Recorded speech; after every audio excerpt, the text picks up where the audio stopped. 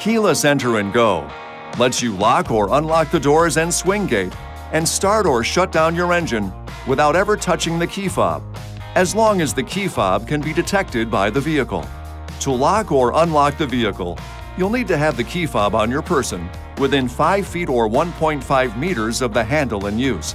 The sensors are located inside the door and swing gate handle. Grab a door handle and the door will unlock. To lock all the doors, push either of the lock buttons located on the outside of the front door handles. Be careful not to grab the handle, or you could activate the unlock sensor and accidentally unlock the door. To lock the swing gate, push the lock button, located on top of the swing gate handle. You can also lock the doors with the lock button on the interior door panel or with the lock button on the key fob. To start the engine, make sure the transmission's in park then depress and hold the brake pedal while pushing the engine start-stop button and you're good to go.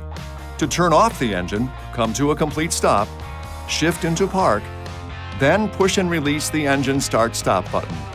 To use accessories without starting the vehicle, don't depress the brake pedal. Instead, just push the engine start-stop button once to enter the accessories or ACC position. From there, you can activate the radio, wipers, and windows. Push the button a second time to enter the on-run position, so you can activate the instrument cluster and certain climate controls. Push the button a third time to return to the off-lock position. This video is not intended to take the place of your owner's manual. For complete details and other important safety information, please see your owner's information.